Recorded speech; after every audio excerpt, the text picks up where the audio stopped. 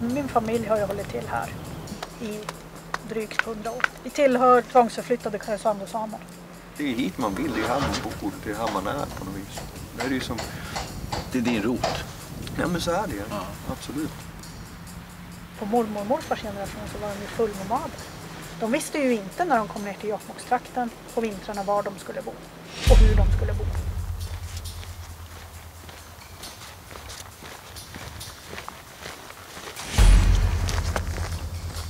På 50-talet, innan dess fick vi inte bo i stugan.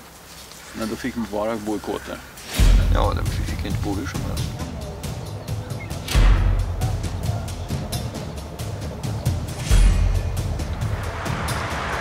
Hur ser det ut då? Har det blivit bra med kalvar?